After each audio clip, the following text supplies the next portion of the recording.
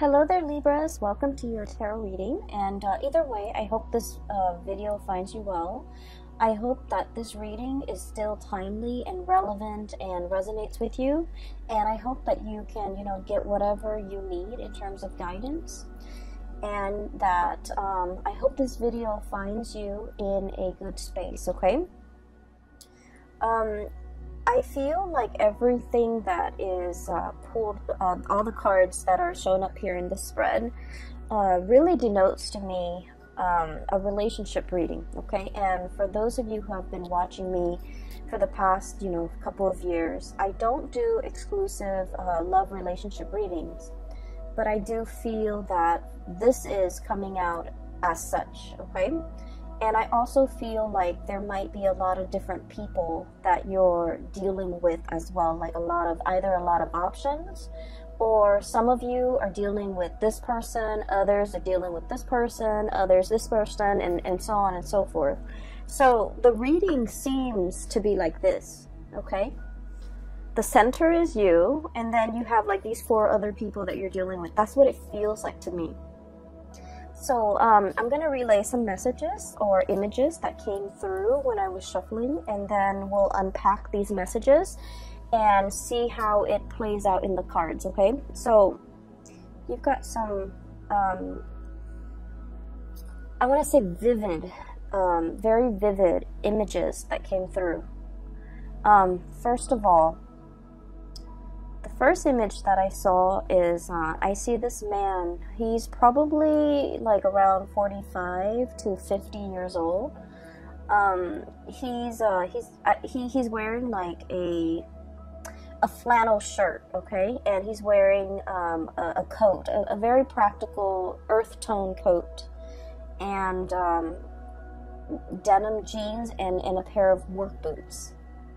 He's a, he's in his driveway and he's um, shoveling snow. So he he's shoveling snow, and it's you know it, it's not fun work. It's uh, heavy duty labor, but there's a lot of snow piled up in front of his truck, and he's trying to take his truck somewhere. So he's shoveling snow, shoveling snow, and it seems like he's been at it for like 20 minutes.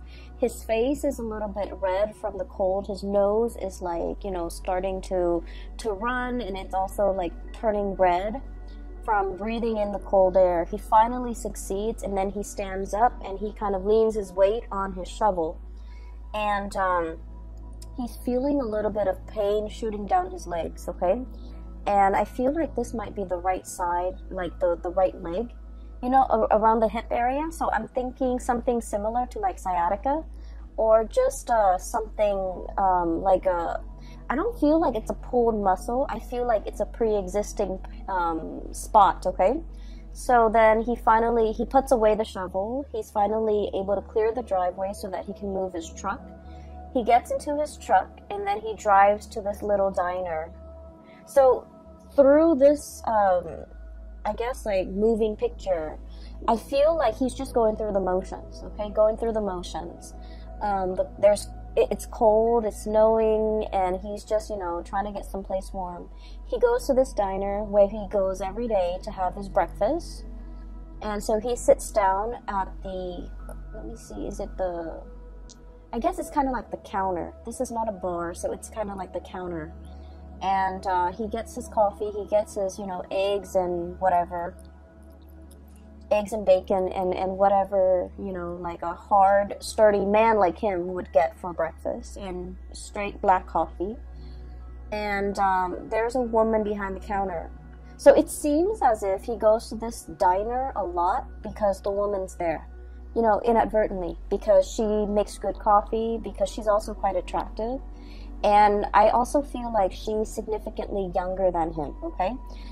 By significantly younger, I would say um, 10 years or more younger than this man okay? She she's pretty and she's young and she's really just bubbly and she's like everything that you could hope for you know when you have a, a gray day and she's serving you food okay? So she's behind the counter and she's just like i saw you kind of limping when you walked up in here. What's going on?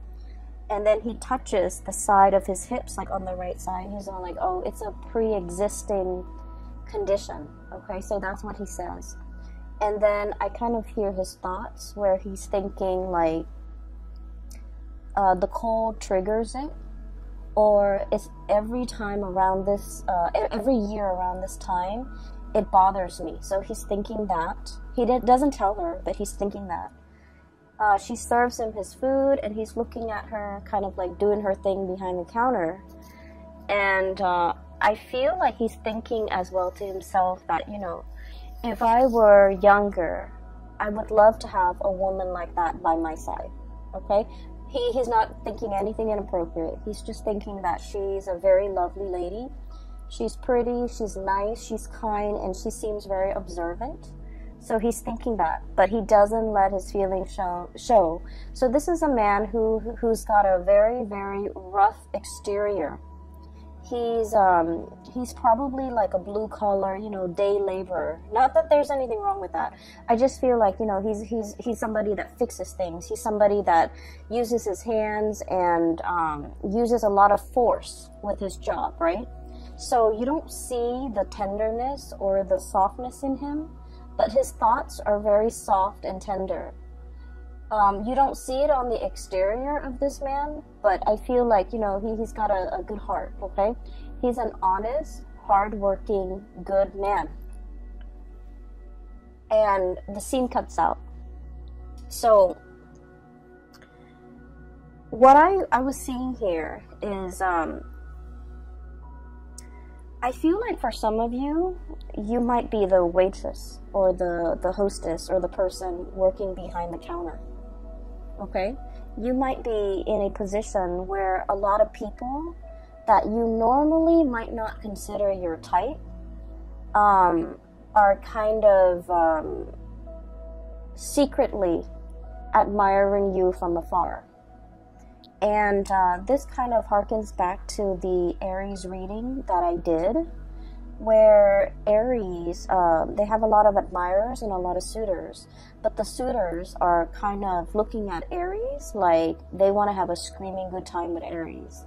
But I feel like your admirers are are thinking like you're a really good person, you're a really good man, or you're a really good woman, and they wish they could find a really good man or a really good woman like you they see the gentle way in which you deal with people. They see the friendly way and the, the ease in which you have conversations with others.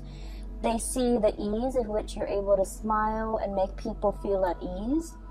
And I feel that it's really comforting for it's it's just like, you know, they're they're naturally very drawn to you. And um what's really interesting is with Aries and and the men- reason I mention Aries, excuse me for those who are not familiar, Aries is your opposite sign, it's your shadow sign, okay? So the energy playing out for Aries in their love sector is also very similar to you. But with Aries, they because they're a fire sign, they attract very fiery types of personality as well, where the their their admirers declare, you know, verbally declare their love to them and I feel like, whereas for you guys as an air sign, all of these thoughts and feelings are, are felt by your admirers, but it's kept in the mind, it's kept in the mental space. Does that make sense? I hope that makes sense. And um, I just feel like if you find yourself in a situation where somebody keeps crossing paths with you, I don't think it's it's an accident. I think that they're purposely purposely e- either purposely or subconsciously very drawn to you and they want to be in your presence and they want to be around you.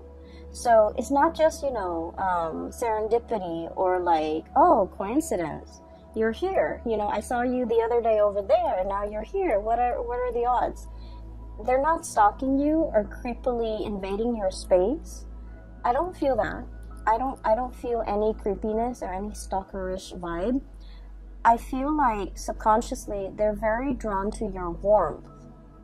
And funnily enough, um, I did the reading for Aquarius and Gemini, and I in in one of those readings, your fellow air signs, um, I mentioned that somebody was very drawn to your warmth. So for whatever reason, you know, air signs are not typically like uh, considered warm. No offense, we're not considered warm. We're considered friendly and easy and, and you know easy to talk to, but not super warm the way that a water sign would be. But for some reason, I mentioned, I think it was the Aquarius reading, that people find them very warm. So there's something happening in the, the month of December. It's bringing out your caring, nurturing, warm side, and it's making it very visible. But I digress. Either way, I'm going back to this um, image, and there's another message that came through, so let me relay that before I forget this man is a habitual like patron of this diner okay? So he might have started going there before the waitress or the hostess works there. Or he might have started going so I, I don't know the ins and outs of that. But i just feel like he plops himself right by the counter under the guise of you know um, it being convenient because he's there by himself. But because he enjoys chatting to chatting with and looking at this woman um, and so I feel like you know it's it's not a coincidence. If you keep seeing somebody um, mulling around or in your vicinity, or like you constantly run into them, I feel that they're energetically thinking about you and drawn to you and admiring you.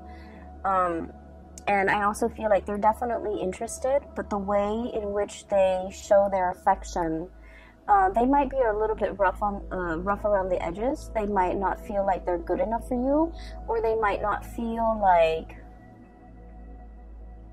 they're your type. Okay, they might not feel like you're. They might not feel like the feelings are are mutual from your end, and so they never say anything. Okay, so th- that's just um, what I saw first. So for those who are single, you know, give give people a chance because I'm seeing here there might be a really good man or a very good woman in your environment that would be a, a, a very suitable relationship partner for you. Not only that, for those of you who are looking for like a serious partner, somebody you want to spend your the rest of your life with, I feel like there's somebody here that wants to go the distance.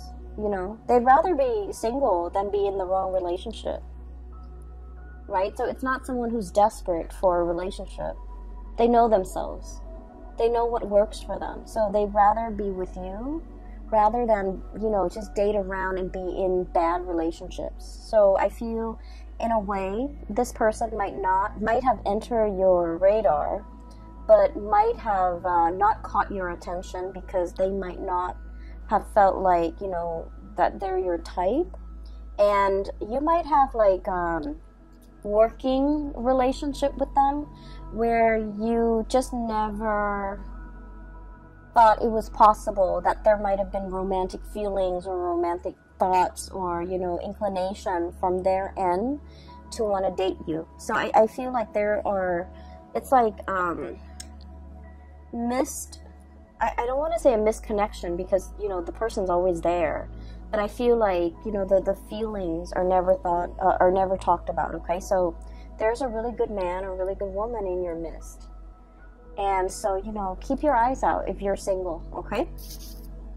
So having said that let's talk about these four characters.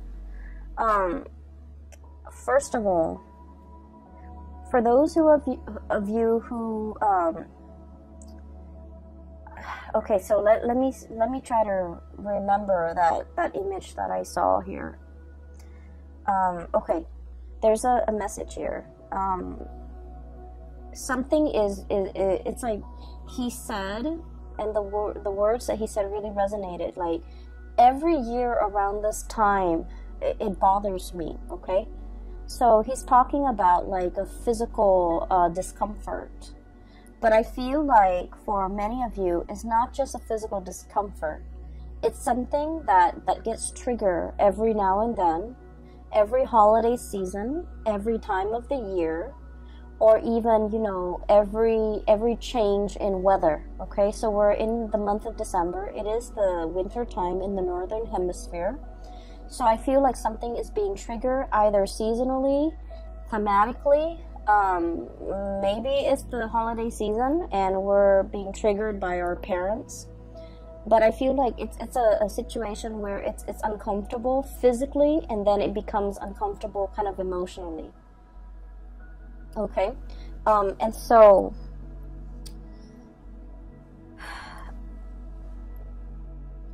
I do feel like there there might be a lot of squabbling between you and a significant other over something that gets triggered every year around this time. For some of you, this could have to do with, you know, uh, the blending of the family, co parenting. Um, do we send the kids to this place or do we send the kids to the other place?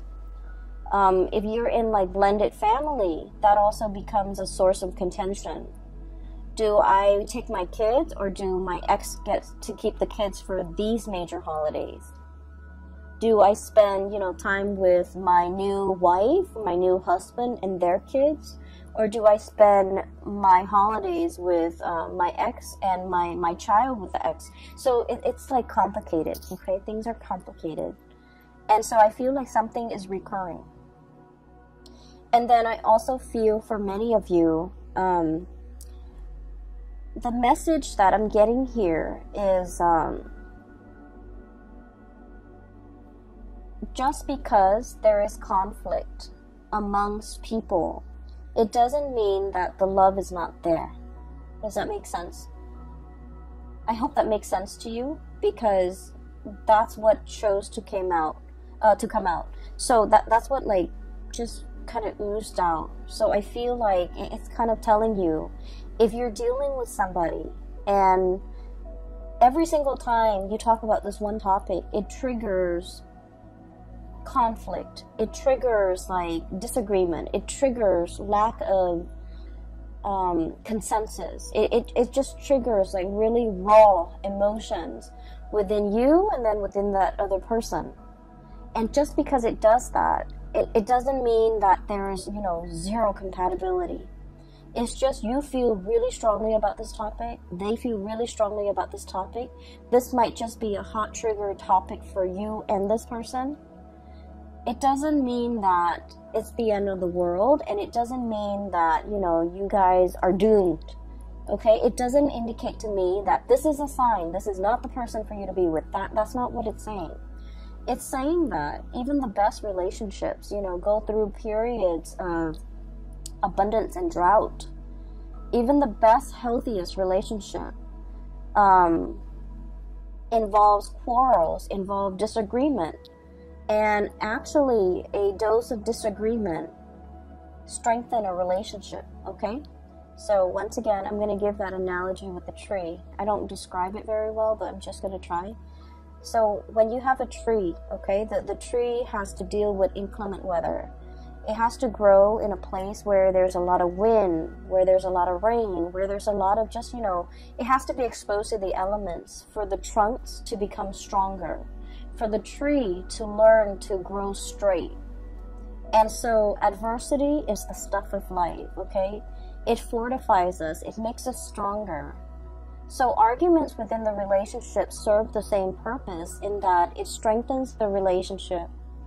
It allows you to stand your ground and it allows the other person to stand theirs. It, it allows the two of you to learn to compromise, to learn to work around each other. It strengthens the relationship. So every relationship requires a healthy dose of arguments, uh, disagreements. Okay? And the reason why I say this is we have the Five of Swords, which is bickering. So you see this card, there are three chickens, and it's clucking. You know how when the chickens just cluck? It's very irritating, it's very annoying. And at the end of the day, it's just clucks, just noise. No one is really hearing one another.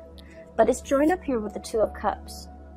And this is a reminder for us this holiday season when we're dealing with like a lot of people when we're dealing with coworkers, office parties, uh, family gatherings, meeting everybody from you know um, friends and relatives and who they're dating keeping everybody's uncles names and aunts names straight we're in this environment where we're not gonna get along.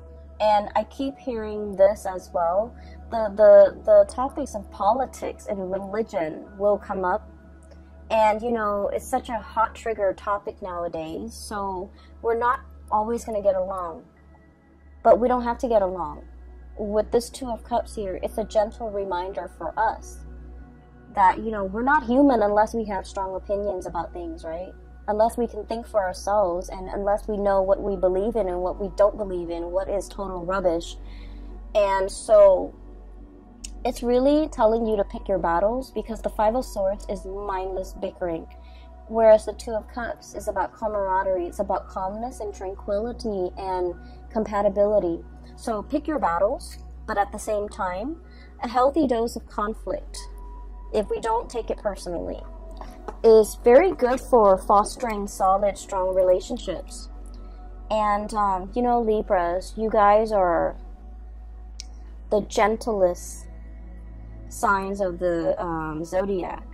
I feel like you guys and Cancers are very gentle, are very like kind, loving people. You're also very conflict avoidant. You will stand up for the things that you believe in, but you don't want to argue with somebody, especially if they're not very knowledgeable. You, you don't want to waste your time. And then you also don't like it when other people argue. Okay? It, it, it ruins your vibe, it, it ruins the ambiance, and it makes you uncomfortable.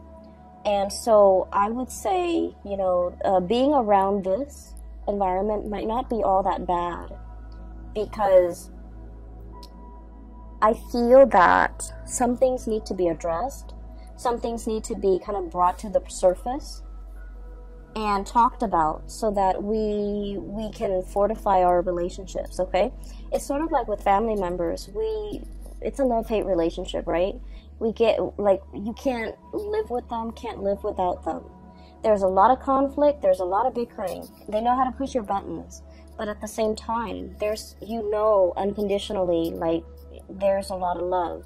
So it's one of those situations where take the good with the bad. You know, that's that's life pretty much, okay? So there's this person here where, you know, you can't get along, but it doesn't diminish the love, okay? And then I have another person here that is very loving, very attractive, very beautiful. And um, it's showing up here as the Empress. This is somebody with children. This is somebody you might have children with. And we have the Ace of Pentacles. And the Ace of Pentacles is um, possibly like the beginning of something. So for some of you, you might be contemplating, you know, going after somebody that you're really interested in. You might not have children they might have children and so you're kind of like you know um, slowing your your buying your time or pondering and you know like if this is a good thing to get involved in. Give me just one second. Sorry about that. So i was talking about this person right here and uh, i feel like you know they have a really good heart so it's showing up as the Empress. This is the caretaker, the nurturer, the giver. This is someone who's also very attractive. They're beautiful uh, or handsome. They uh, take good care of themselves, not in a vain, you know, way, but um, they're they're very presentable. Okay, and I also feel like they're very good with animals. They're very good with children. When people are good to animals and are good to children, they just they're just a good person.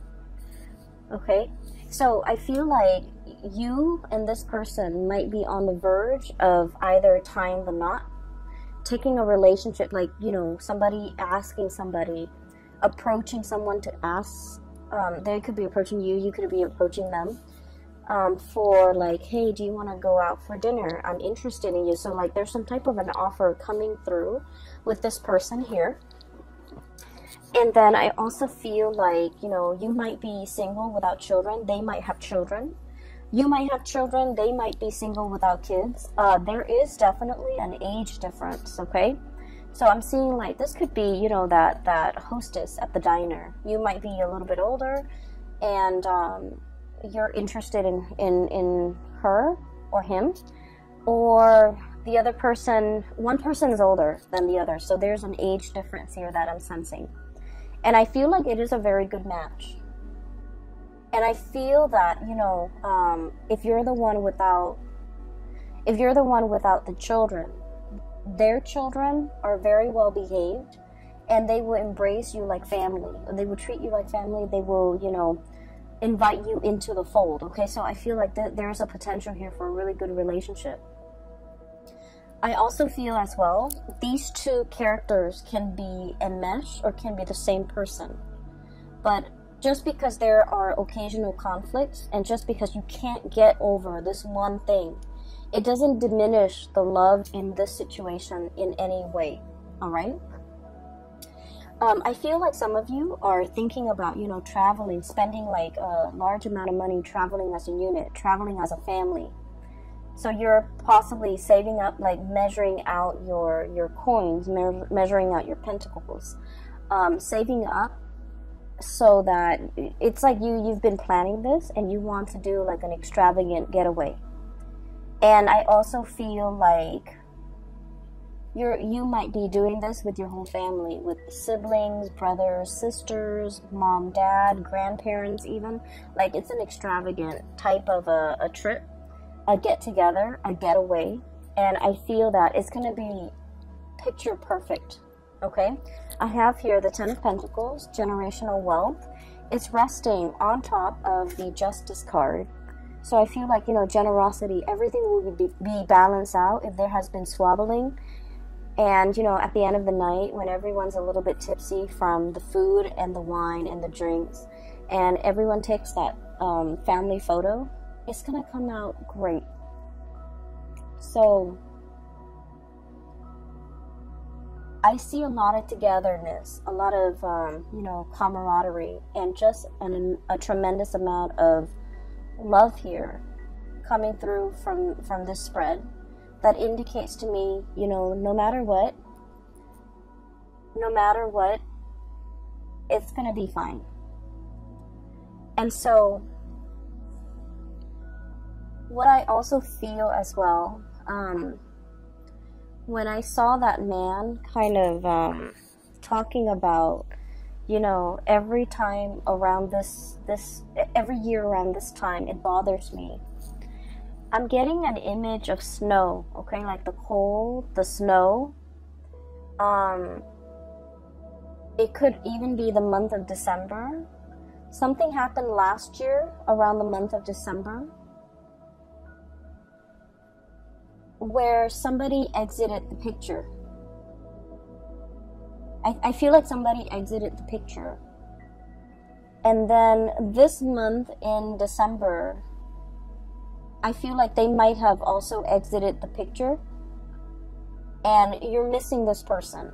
Um, for some of you, this could be a fire sign, a Sagittarius, an Aries, or a Leo. We have the King of Pentacles. I'm sorry, the King of Wands. So this is the fire sign. Sagittarius, Aries, or Leo, and the Five of Pentacles. Leaving the picture, um, left out in the cold, there might not have been a lot of communication between you and this person.